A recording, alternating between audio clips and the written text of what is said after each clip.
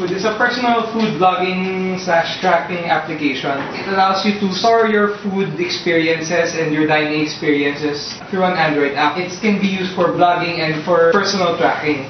From the way the app is structured, mas focus nyo is, ay, kumain ako sa restaurant na to, I'm here at the restaurant, I want to record. Now, um, why would I want to do that?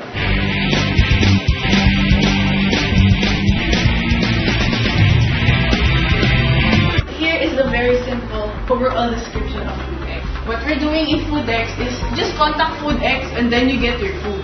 We remove the phone. Is that something na hula nyo lang, it's a problem for them? The idea is just like how SMS revolutionized communications, you send really short messages. Okay yung app or yung idea na ganun. But you have to validate if non-business people are willing to pay for that. Like, will you pay for something like that?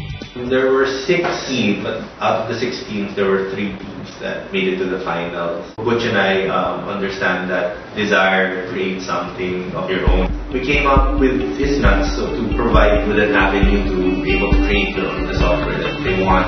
So yun yung mga isipin there's already existing apps out there. What will make yours stand out?